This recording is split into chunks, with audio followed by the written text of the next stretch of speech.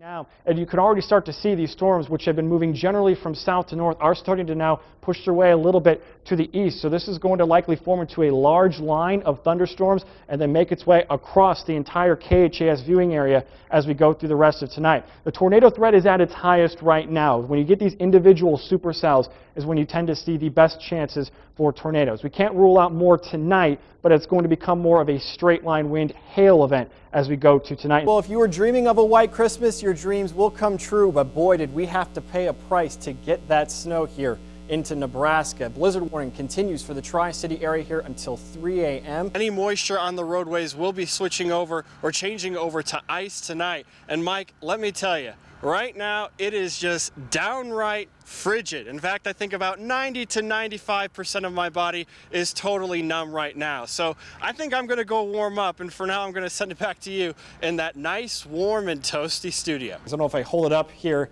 to kind of contrast with the uh, radar. You can kind of see that that large hailstone. It's golf ball size, that's for sure. So again, very, very nasty stuff. Of course, we're used to severe weather here in Nebraska and Kansas, but we do not want to be complacent for the day Saturday. This will be a dangerous situation across the area with widespread tornadoes possible. Long-lived and strong tornadoes will be possible out of these supercells. This storm is drifting off towards the north. So Henderson, you are potentially in the path. You're likely seeing very heavy rain or some hail at this point in that location, and the tornado is on the southern edge of the storm. So all of this is heading in your direction. So he's probably not really minding this heat too bad, is he? Oh, they enjoy the heat. They're perfectly adapted to deal with it. Of course, they animals have fans and lots of water and everything they need. It's that humidity that is the killer right now. Once these dew points start getting into the upper 60s, it feels really uncomfortable. In low 70s, that's what you typically see out by the ocean. This is more of a Florida environment out there right now. It's that type of air that just sticks to your skin and does not feel very comfortable at all. But relief is coming.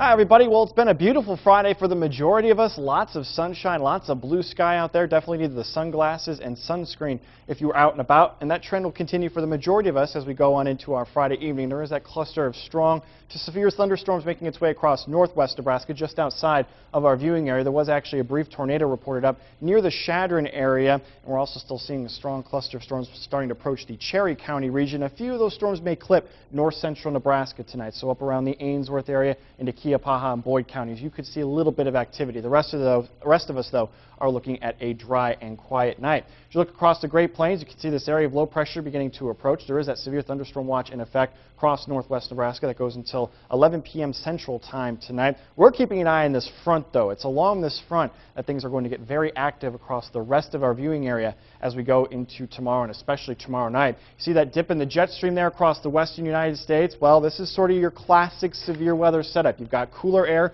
making its way into the Pacific Northwest, and that air mass will start to collide with the warm and humid air that's setting up across the Great Plains. So this is one of the better setups we've seen in quite some time, and it's why we are expecting some active weather as we go into this weekend. So let's look at your forecast. We'll start this here at 7 p.m. tonight. Again, for most of us, nothing to worry about. Um, those storms up near the South Dakota border here as we go through the rest of this evening. Once we get past midnight, as more moisture continues to creep on in, we could start to see some patchy, dense fog develop. So some reduced visibilities will certainly be possible for Saturday morning. You can also see a couple more thunderstorms rolling their way across far northern Nebraska once again, but still dry for the majority of us. And most of us will stay dry through the first half of Saturday. Into Saturday afternoon, that fog burns off. We'll be left with partly to mostly cloudy skies. It's going to be a little toasty out there once again. Temperatures back in the 80s, but here comes that front. And once we get to the later afternoon hours, this is when we expect those things, uh, these storms to start to erupt. They're probably going to start across southwest Nebraska into west central portions of the state, so back towards North Platte, down towards Hayes Center and McCook. You'll probably be up first with these strong thunderstorms.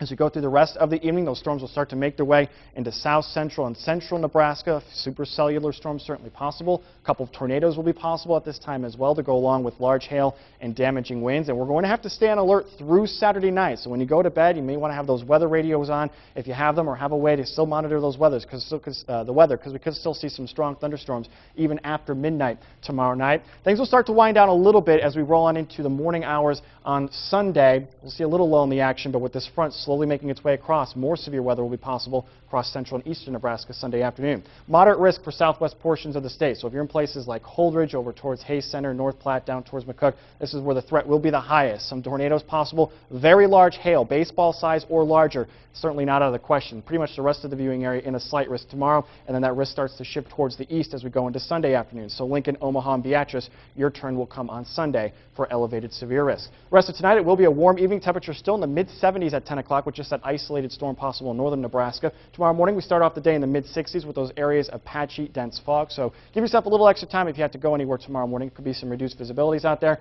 For the afternoon, temperatures climbing into the mid-80s, a little humid out there as well breezy with gusts up to 30 miles per hour. Right around 5 o'clock, we could start to see those first hints of strong thunderstorms billowing up. They'll be isolated at 5 o'clock, but then they'll start to become much more widespread as we go into Saturday night. More widespread thunderstorms for the day on Sunday. Again, a few severe storms still possible for Sunday afternoon. Keep a chance for storms going into Monday and Tuesday. Noticeably cooler with highs in the 70s and only in the 60s for Tuesday before we start to warm things back up for the middle and latter portion of next week. So hopefully everyone's got the warning. We've been talking about it all week.